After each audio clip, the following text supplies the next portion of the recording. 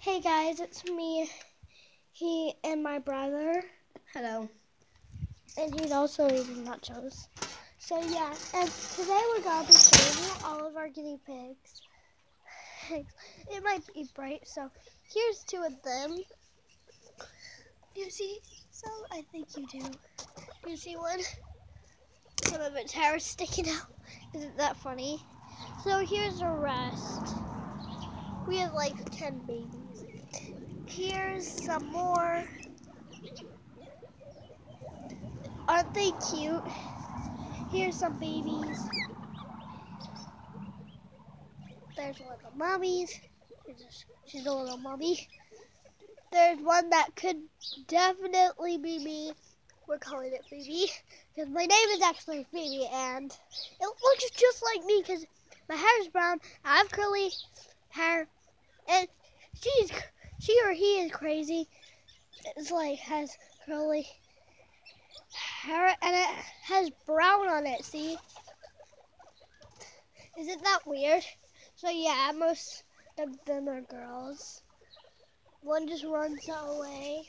So we'll show you one. That's there. We'll show you the other side because you might actually not see all of them that's in here. There's like more. And that one just runs away. So yeah, they're like all just. Okay, hold on, I have an idea. So that's how much it is in there. See? Ah, sorry. So yeah, that's how much. What is right there? It's a girl. The, one that's all black is a girl. I forgot if the orange and black one is girl or not, and that one just runs in. So yeah, that's what they all look like together, except one just ran away. So Yeah, those ones and that one turned around again. So we'll just give you like another look in there. Hold on, I have an idea. So yeah, that's what they both look like together. They're both boys.